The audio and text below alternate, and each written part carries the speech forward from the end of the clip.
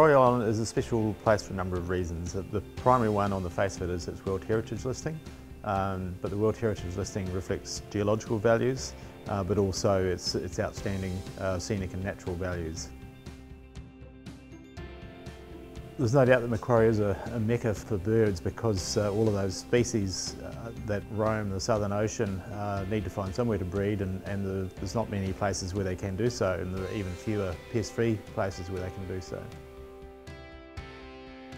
Macquarie Island's an island about uh, 12,800 hectares. It's roughly 34 kilometres in length and width varies from 3 to 5 kilometres. It's about 1500 kilometres uh, southeast of Tasmania, which it is part of. Macquarie Island was discovered by sealers in 1810 in July. They brought with them cats and dogs, probably mice in that uh, early stage as well. From about the 1860s on, they introduced rabbits and weka as a food source. Ship rats also came ashore. Weka were eradicated by 1989 and cats eradicated by 2000, but rabbits, ship rats and mice continued to thrive.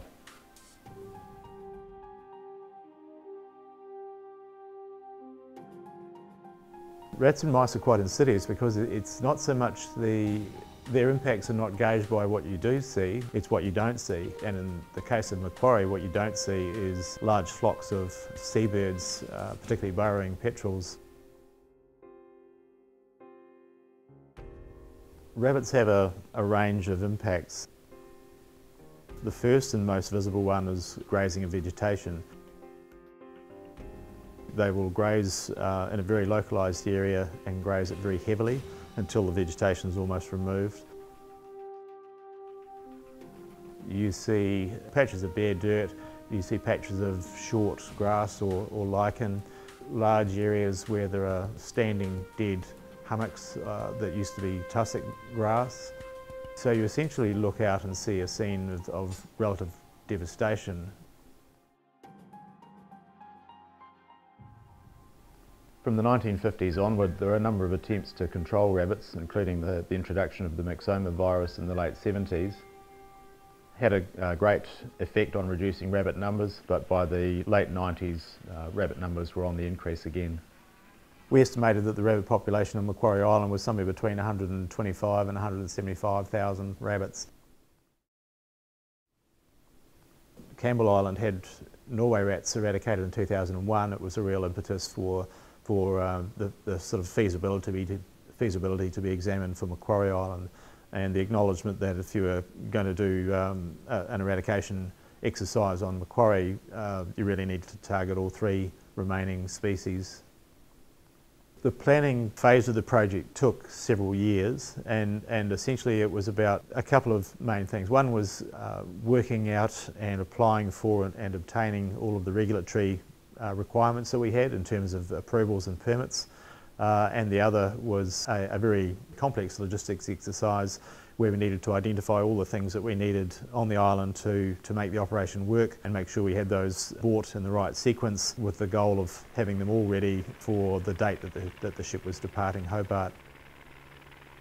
Of course, once you're on Macquarie Island, you can't go back for anything that you've forgotten, so it was really important that we had thought through everything in, in, uh, in a lot of detail. The bait was manufactured in New Zealand, trucked to, uh, to a port and, and uh, shipped to Australia. When it arrived in Hobart, we unloaded the containers that it was in and, uh, and had to pack it into our bait pods, which we had made especially. And we had 436 of those. That total shipment of bait that we uh, brought down in 2010 was 305 tonnes. The bait that we used was a, a product called Pestoff 20R and it contains brodifacoum as its active ingredient and it had a, a, proven track record and it had been successfully used on Campbell Island to eradicate uh, Norway rats.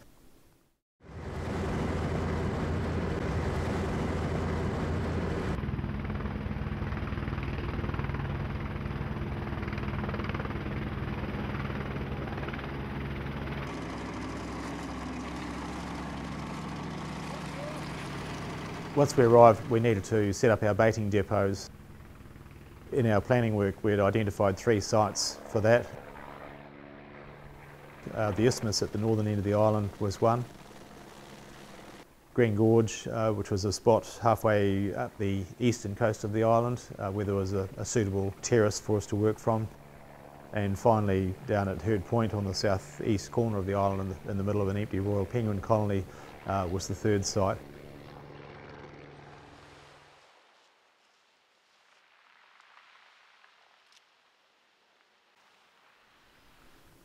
The challenges that we faced were, were often around weather. First thing in the morning, uh, if we were hoping to fly, we, we looked at the weather forecast and the things we were looking for were primarily uh, any indication of cloud, uh, because if the plateau was covered in cloud, which it often is, uh, we can't fly in it. We need to spread bait in winds under 25 knots or 25 knots or less. Uh, greater than that and we risk the bait curtain being, being blown off course and leaving gaps in our coverage. When we started the planning, it had been uh, predicated on the aerial baiting being done in the winter of 2010. As it turned out, uh, we had some really extended periods of bad weather. Due to the weather, we, we got very little baiting done. We baited 10% of the island um, in the course of seven weeks. We were starting to, uh, to look down the barrel of spring and uh, the return of bird species, so the decision was made to cease baiting and, and withdraw. So it wasn't until uh, mid-November 2010 that we were given the, the go-ahead to return um, to have, have another crack at it in 2011.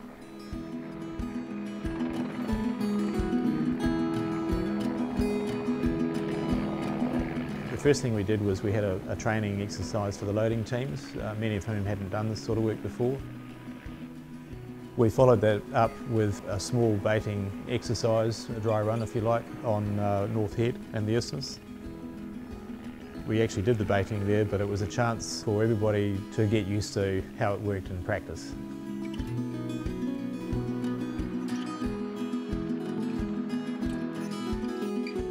We had two bait loading teams. Uh, there's a team leader and, and four bait loaders.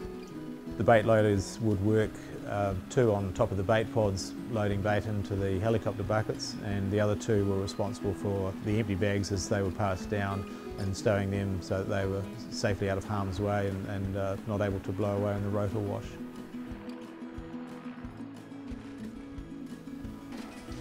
When we were loading bait off the isthmus, we used the JCB loader with a, uh, a large bucket, which really sped things up a lot. One of the things that makes an eradication possible, especially on this scale, is, uh, is the development of GPS. And, and the application that we use is a, is a system developed initially for aerial spraying, where, where accuracy is also really critical, uh, as it is for us. GIS is a um, digital product which allows us to put maps on the screen to be able to see um, spatial information.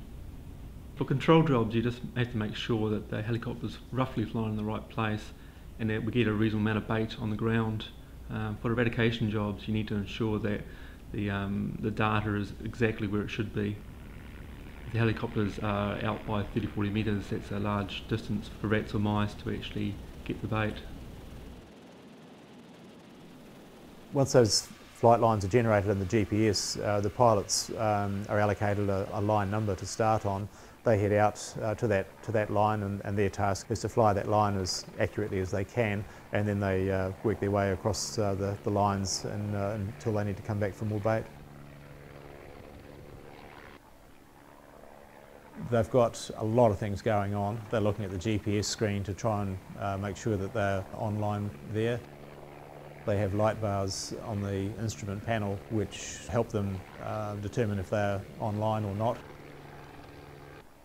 At the same time they're, they're looking in the bucket to uh, monitor how much bait is still left and uh, the terrain uh, that they're flying around and, and, into and what the weather's doing and, and uh, of course where the other helicopters are as well, all on top of the, the basic requirements for flying the aircraft. One of the ways to minimise our risk of failure is to do everything we possibly can to make sure that every pest animal has a chance to access bait. One of the ways we do that is by spreading bait twice and by putting on an application rate that reflects what we expect to happen. So a higher application rate for the first bait drop, which uh, most animals will have access to, and a lower application rate for the second bait drop. We know that the rabbit densities are higher just below the escarpment, down towards the coastal area. So we actually put on a higher rate of um, poison in that area. We're um, also sowing the plateau with poison and it's at a lower rate. We have different discs for different application rates. So if they want more bait put out, we take this disc out, put a one with a bigger hole in and if they want less bait put out then we'll put a, a smaller disc in. Takes about 30 seconds to change it, very quick, very easy.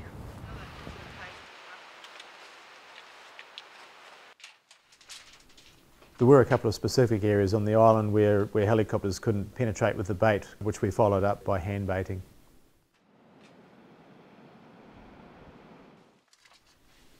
Uh, we've been baiting the buildings um, to make sure that, that any rats or mice that live inside the buildings or under the buildings have access to bait. So we've been putting out containers. Each each container's got 10 individual baits in it so that we can go back and check if the bait's been taken. The success of the baiting is a difficult one to gauge. You expect to find dead target animals around about four to five days after you first bait an area, which we did. The critical question is how many of the target animals we're getting, and that's a really hard one to, to, to gauge.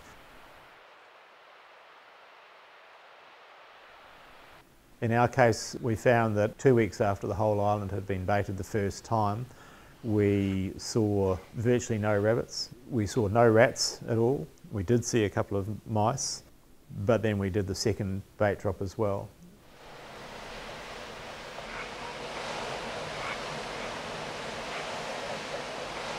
There were a number of safeguards that we took to ensure that we didn't impact native wildlife and, and we tried to minimise that as much as possible.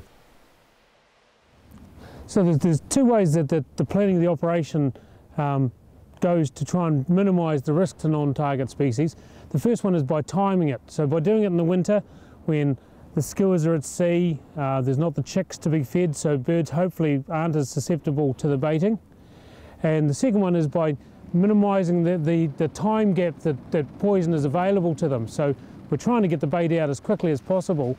So that means the bait isn't available as long for both poisoning and then consequently for the secondary poisoning of the, of the scavengers and, and uh, predators. Uh, as well as everybody in the station keeping an eye out for, for anything that they find that may be sick or dead. We've been doing regular beats around all the coastline and that looking for both target and non-target species and collecting them so we can then analyse them for any bait.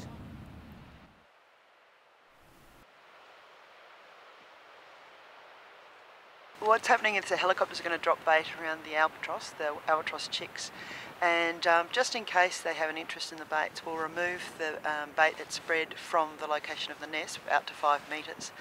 And then um, just because a, a, mouse's home range can be within two metres, um, we're going to put in these little um, bait um, pods and so with, which will have bait in them that are tied down which aren't accessible by the albatross but if there's any rodents in the area and they want to go in and get that bait that'll work out well and then the albatross is safe and we'll get any rodents that are living in the area.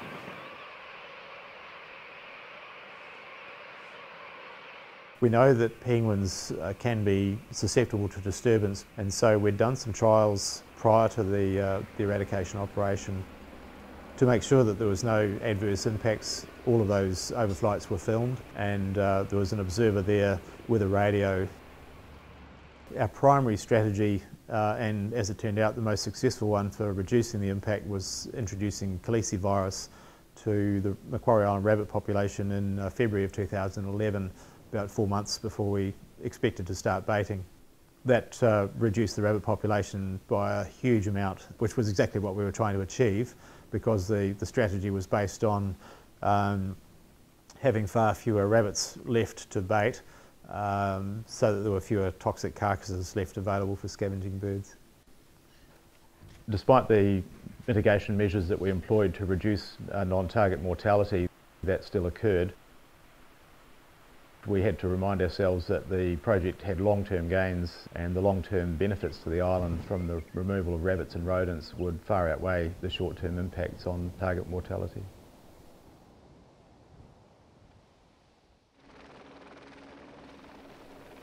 Having helicopters on Macquarie doesn't happen that often and so we, were, we had a number of things that we needed to do while they were here. Probably the most uh, important was establishment of five field huts. The hunters that we have on the island searching for rabbits obviously need somewhere to live. There were five existing huts on Macquarie that were put in by the Antarctic Division and we supplemented those with five additional huts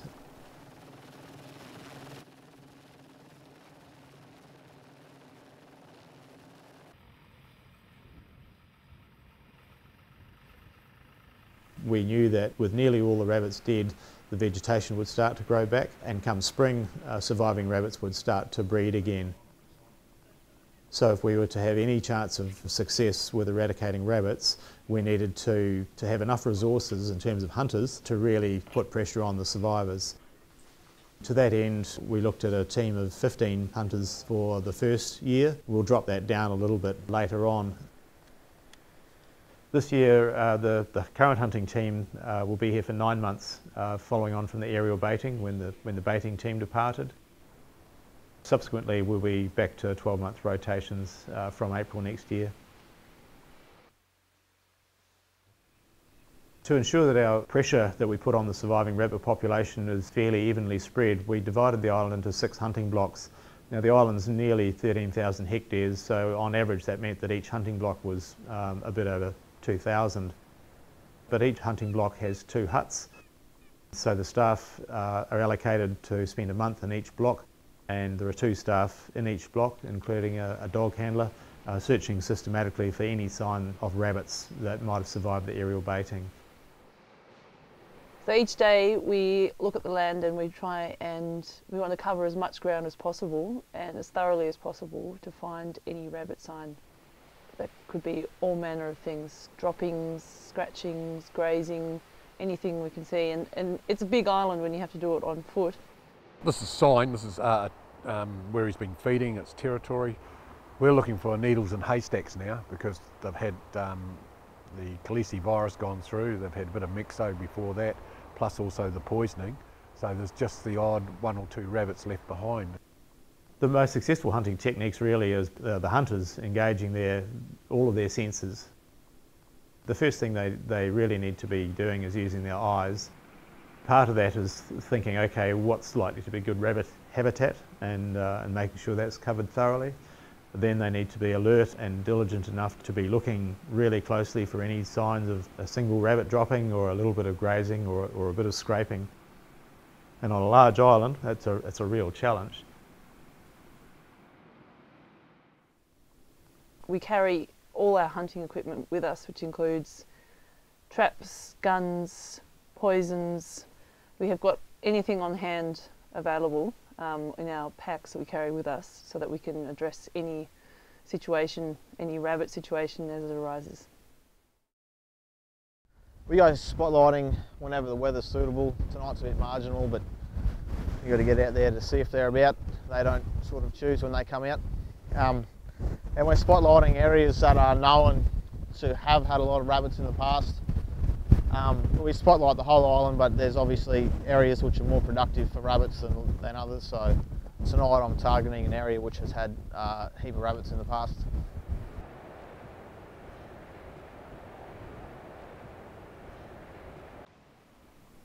Now one uh, really important weapon is the dogs.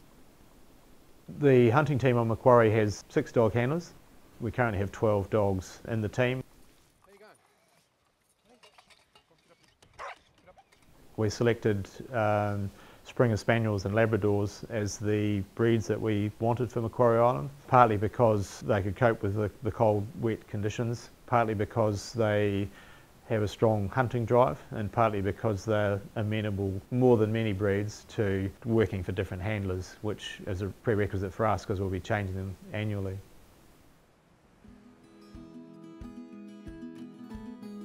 There's a number of types of terrain on Macquarie Island and uh, they all bring their own challenges. Probably the easiest to get around on is the, is the plateau and offers good visibility when it's not covered in cloud. The coastal slopes vary. Some of them are, uh, are quite straightforward and easy to get around on. Other sections of the coastal slopes are, are far more broken and serrated and rugged and some of them are very difficult to access.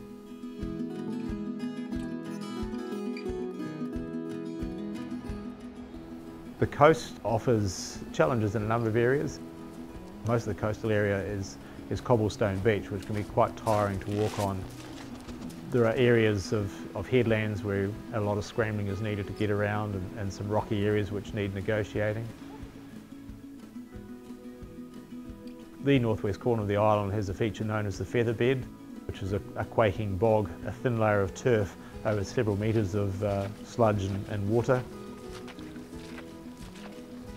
it's not unusual for people to, uh, to puncture that uh, layer of turf and, and go in up to the, to the waist sometimes in the feather bed, which can be quite um, time consuming to extract yourself from.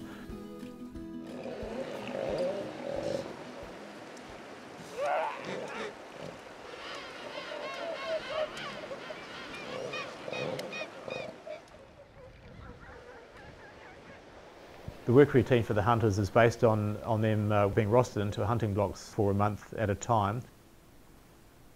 In terms of the hours that hunters work in the field, it's really up to them and the conditions that they find. There's the sort of basic eight hour uh, expectation, but some days it's considerably less and some days it's considerably more.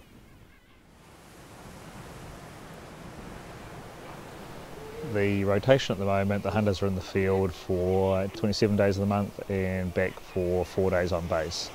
Uh, so every uh, towards the end of the month they come in um, and we have a meeting just to talk about debrief how the uh, month's gone. As eradication team leader, I generally do a round of the hunters about every fortnight, uh, during which I'll walk around the island, um, visiting the hunters in their huts and uh, downloading their data from their GPSs. The data is primarily uh, from the GPSs, on the GPSs which records their tracks so I can see where they've been and also um, they put any sign or kills on as waypoints so they can be downloaded and put onto a map so I can see where we're killing rabbits or where we're getting sign. The numbers currently in month three we've got seven rabbits confirmed killed um, which is extremely low numbers. The combination of the baiting, the RCD and myxomatosis has been very successful in decimating the population.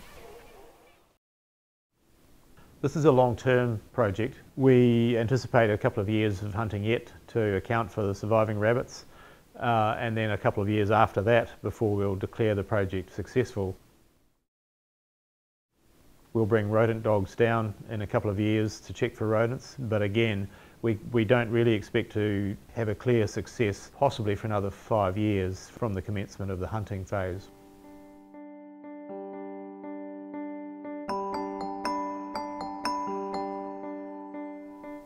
The rewards that will accrue to the island are immense. Long term we expect to see strong recovery in vegetation. We expect to see strong recovery in uh, invertebrates and particularly we expect to see strong recovery in, uh, in the burrowing petrel populations on the island.